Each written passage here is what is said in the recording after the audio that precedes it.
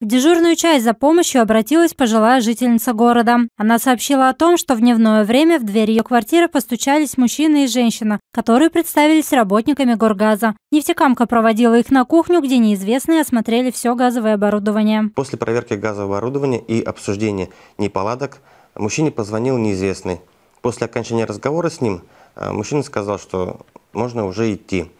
Женщина проводила из квартиры неизвестных и после их ухода обнаружила в комнате значит, беспорядок, вещи были разбросаны и также обнаружила отсутствие денежных средств э, наличными в сумме примерно около миллиона рублей, которые были годами накоплены ею с пенсии. 31-летняя жительница города оформила в кредит 220 тысяч рублей и перевела мошенникам. Началось все с того, что ей позвонили и сообщили о том, что некий гражданин по доверенности от нее оформил кредит и собирается снять эту сумму. Для предотвращения данной операции ей необходимо оформить кредит и, э, перечислить на продиктованный счет.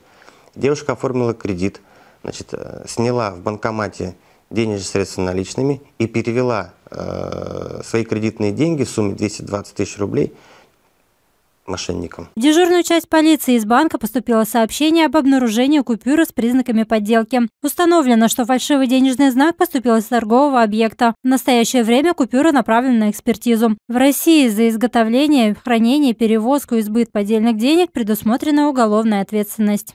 Ксения Белалова, Эдуард Новиков, информационная программа «Ежедневник».